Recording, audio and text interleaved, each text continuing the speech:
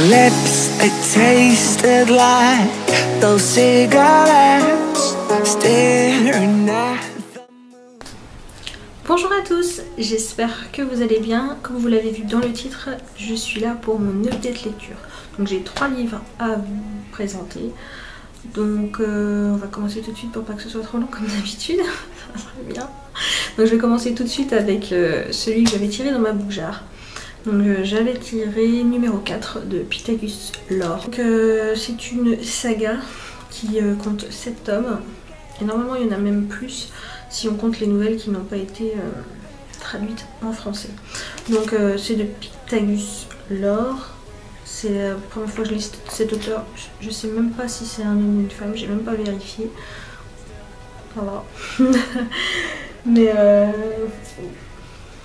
j'ai vu le film, ça m'a donné envie de, d'avoir la, de voir la suite, mais la suite n'est jamais sortie. Donc je me suis dit, je vais lire les bouquins, comme ça je saurai enfin ce qui se passe après, numéro 4. Donc euh, c'est de la science-fiction, il fait quoi 448 pages euh, c'est aux éditions BAM. Voilà, ne me demandez pas. C'est la première fois que je tombe sur ces, éditions-là. Mais euh, je vous mets la couverture juste là. Et de toute manière, c'est la fiche du film. Donc voilà, comme ça vous pouvez voir un petit peu à quoi ressemble le numéro 4. Il n'est pas dégueulasse. Donc ça, faisait un moment qu'il était dans ma liseuse. Je l'avais... C'était vraiment une relique, un relique, relique de ma palle. Enfin, il est sorti. Il va falloir que j'en sorte d'autres là parce qu'il y a encore pas mal de reliques là-dedans. Mais ça faisait très très longtemps qu'il était dans ma palle. J'étais contente de tomber dessus. Et j'étais vraiment contente de le lire parce que ça, a vraiment été euh, un bon moment, agréable. C'était la lecture était très agréable. Euh, le début, au début, ça, ça, ça colle tout à fait euh, au script du, film.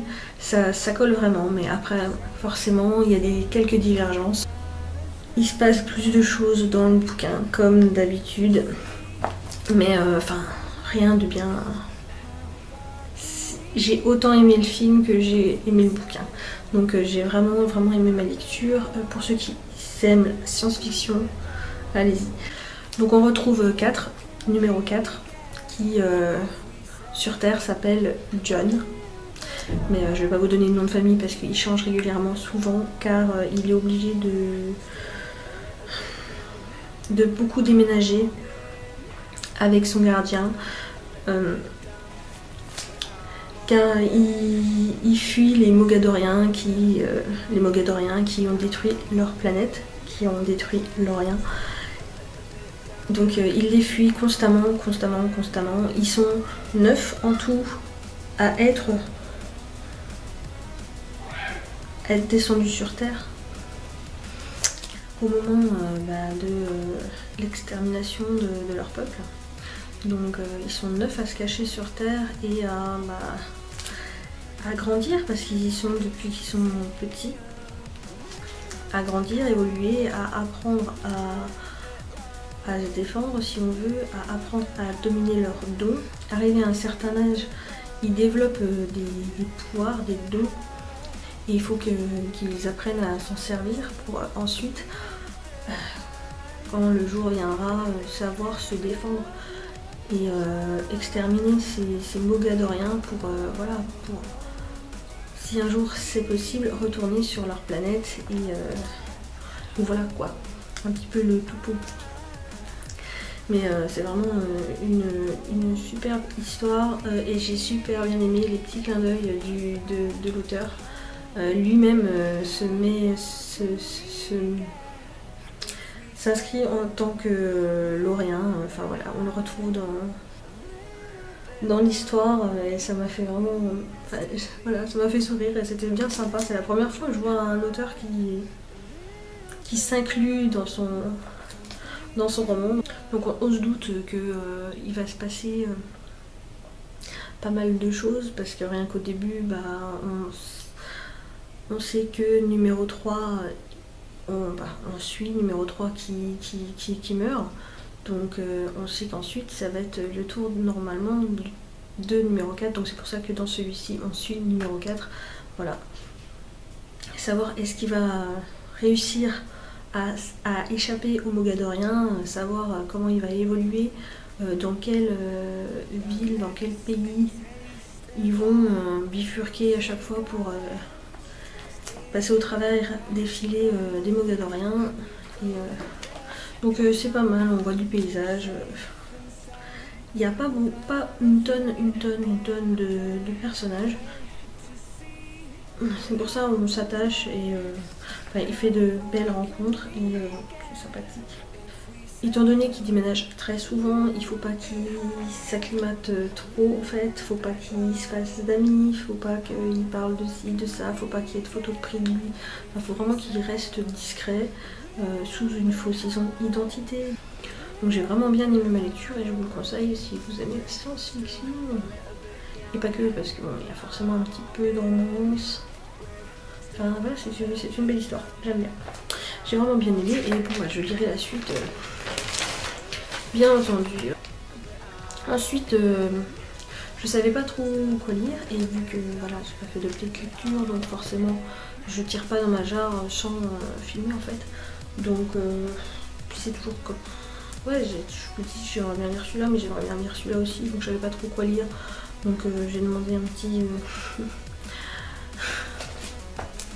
service à ma famille la quoi. Hein? Donc, euh, mais bon, elle a fait pareil avec moi hein, il n'y a pas longtemps, donc c'est de long, long. Donc elle m'a proposé de lire Archer Voice et bah, j'étais contente en fait parce que c'est un moment où je voulais lire, j'ai pas eu, euh, j'ai pas un seul, j'ai pas eu vraiment de critiques négatives sur ce bouquin, donc euh, voilà, j'étais contente de le lire et euh, j'ai vraiment pas été déçue. Mia Sheridan, j'en ai pas lu, j'en avais pas encore lu d'elle, il me semble. Non. Donc franchement, très bonne surprise. Donc c'est aux éditions Hugo Roman. Hein. Donc celui-ci de toute manière, je l'avais les Hugo romans, j'essaye de, les. Je les télécharge, c'est sûr. Parce que voilà, je suis rarement déçue par des Hugo romans quand même. Rarement. À part là, Before. J'ai encore le deuxième à lire, mais. Ça sera pas pour maintenant. Donc euh, oui, Hugo Roman, donc celui-ci il a été publié bah, en début d'année, donc il est pas. voilà. C'est pas trop trop vieux. Euh, il, est fait, il fait quoi Quasiment 400 euh, pages quand même. 390 CD je crois. Donc il est bien passé. Il est bien passé. Malgré que depuis que je, sois, je suis enceinte, je lis beaucoup moins vite. J'ai mes yeux qui se fatiguent beaucoup plus vite. là je vois j'ai pas mes lunettes aujourd'hui. J'ai mes yeux qui me Mais bon. C'est pas grave. Donc euh, celui-ci, ça a été euh, bah, un coup de cœur en fait. Archer's Voice, je l'ai vraiment, je l'ai vraiment, vraiment, vraiment aimé. Euh, bah, il y a toujours cette part de fragilité. cherche, voilà, l'auteur cherche tout. Sais pas si elle fait ça dans tous ses bouquins. Bon, je verrai bien parce que du coup, j'ai envie de me poser sur le cas Mia Sheridan, voir ce que donnent les autres. C'est un peu comme Amy Harmon en fait maintenant. Donc je commence à avoir pas mal d'auteurs que j'aime bien, que j'ai envie de suivre euh, un petit peu, hein, après Colin Hoover. Euh, voilà, Amy Harmon et maintenant bah, Mia Sheridan qui... J'ai bien aimé sa plume et il y a Léo qui... Hmm, voilà, qui me tente pas mal, sachant que le 2 sort... Où est sorti là? Enfin voilà. Donc je pense que je vais mettre un petit peu plus sur cette hauteur. Donc euh, dans Archer's Voice, bah, voilà, c'est une romance. Hein. Donc on va euh, forcément rencontrer euh, un homme et une femme qui, bah, qui vont se reconstruire ensemble. C'est pas, c'est un petit peu déjà vu si on veut, mais le cas de Archer est vraiment intéressant. Je, je veux pas Enfin, je veux vous spoiler un direct, donc je vais pas vous dire euh, de quoi souffrent euh, les personnages ou quoi, mais euh, c'est. C'est vraiment une belle histoire, j'ai vraiment bien aimé ma lecture, j'étais vraiment à fond dedans. Et c'est vraiment un livre que je vous conseille. Et on a différents points de vue, mais c'est léger. Hein. C'est pas à chaque, euh, chaque chapitre où on change. Non, non. C'est très léger, mais on a quand même différents points de vue dans l'histoire. Et ça, bah, ça j'aime bien. Forcément. Il a une super bonne moyenne sur l'uranique. Il est à plus de 17, je crois. Donc, euh, voilà. Je, je pensais vraiment pas être déçue, ça c'est clair et net. Et mais pourtant, je me suis pas mis. Euh, enfin, je pense pas que je me suis mis euh, la barre super haute. Ah, il y a un, grand plus, c'est que voilà, il y a un épilogue, et ça j'aime bien quand il y a un épilogue, que la fin n'est pas ouverte. Voilà.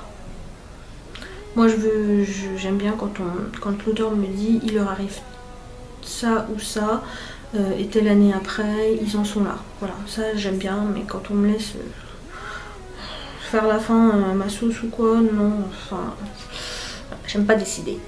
Je préfère que l'auteur décide pour moi. Quitte à ce que ce soit triste ou quoi, mais ouais, je préfère euh, vraiment quand voilà, l'auteur il a fixé ses limites et voilà, il se passe ça, ça, ça, et c'est tout. Bon. Moi, je suis fixée. Bah, je savais pas sur quoi enchaîner. Et euh, moi, j'avais conseillé à ma frangine de lire euh, Avant toi. Mais bon, elle, elle lit euh, plus rapidement que moi maintenant. Hein. donc, elle, elle arrive à, lire un livre en une journée ou deux. Hein. moi, c'est devenu un peu plus compliqué pour moi, alors que je, je suis à la maison maintenant. Mais non, ça, je, je ne peux plus, je n'y arrive plus depuis ma grossesse. Mais bon. Donc je lui ai conseillé de lire avant toi. Donc elle a fini avant toi, avant que je finisse Archer's Voice. Et du coup elle a enchaîné avec Après toi.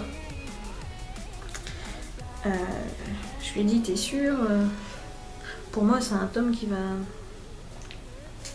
Tu vas être déçu. Enfin, je le sens pas. Je sais pas pourquoi je le sentais pas ce, bouquin. Et ben, elle l'a lu. Et moi, j'ai voulu euh, faire pareil. Voilà. Avoir ma tête, vous savez tout de suite que ça l'a pas fait. Euh, mais c'est pas fait du tout. C'est un, c'est un livre qui sert à rien. Donc euh, après toi de Jojo Moyes, la suite de Avant toi.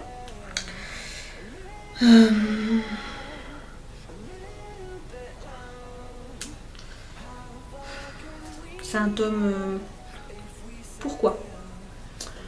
Euh, faire ce, bouquin Pourquoi Voilà.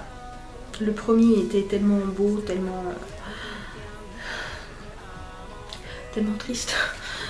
Je. je, là, j'ai pas compris.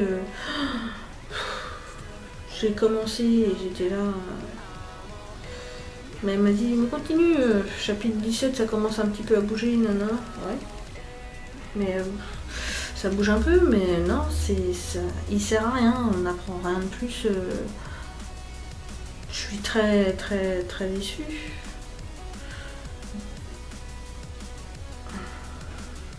C'est une histoire, voilà, c'est une histoire. Mais il faut pas la rattacher à, avant-toi. Non. Non. Non. Ça fait du tort euh, au premier, je trouve. Enfin, il sert à rien. Il sert à rien. Donc on retrouve Louisa, forcément. Après, euh, je ne veux pas vous spoiler non plus. Donc euh, ça va être compliqué, mais euh, voilà, on retrouve Louisa quelques années après avant toi. Donc elle c'est une paumée, bah, elle est paumée comme elle était paumée dans le premier, j'ai envie de vous dire, avant qu'elle rencontre Will, mais sert à rien. Il y a des nouveaux personnages, oui, des nouveaux personnages. Un nouvel univers, mais euh, non. J'ai vraiment pas. J'ai pas kiffé. J'ai pas kiffé. Donc euh, celui-ci, je vous le conseille vraiment pas. Si vous avez lu avant toi, arrêtez-vous là. Arrêtez-vous là. Faudrait limite euh, celui-ci, vous le lisez sans avoir lu faudrait le lire à part, mais vraiment à part, sans. Euh, en ayant euh, vraiment mis de côté avant toi. Voilà, prenez l'histoire comme elle est, mais vous, faut pas revisualiser euh, les personnages d'avant.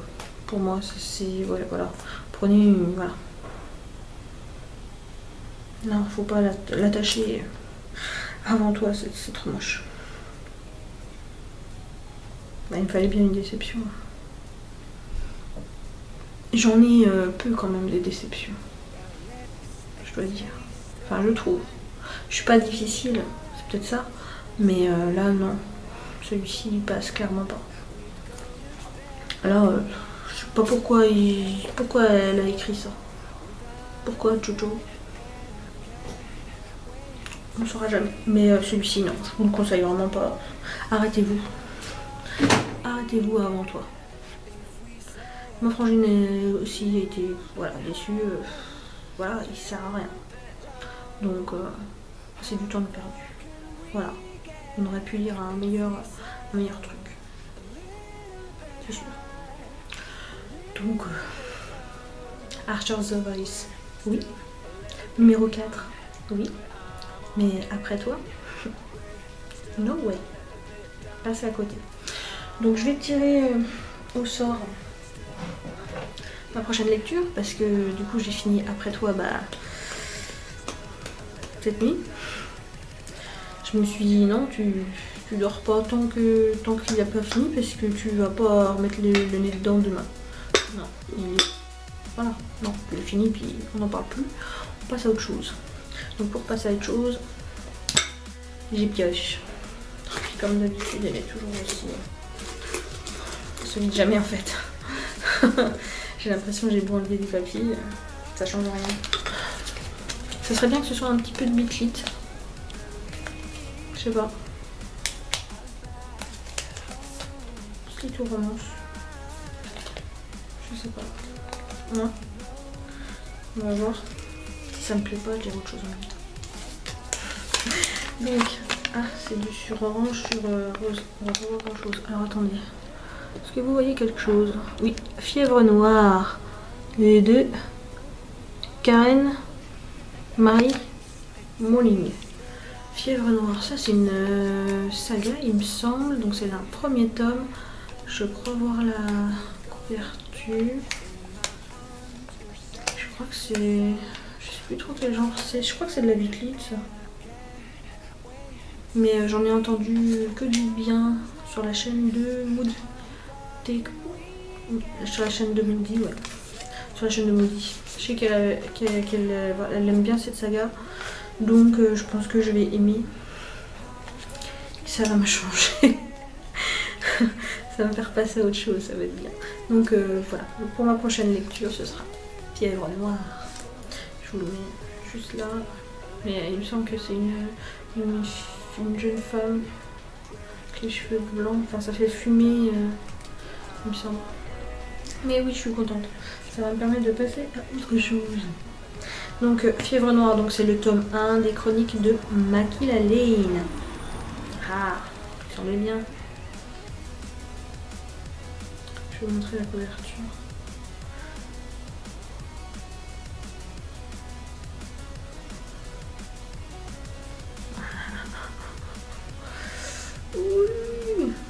Donc voilà.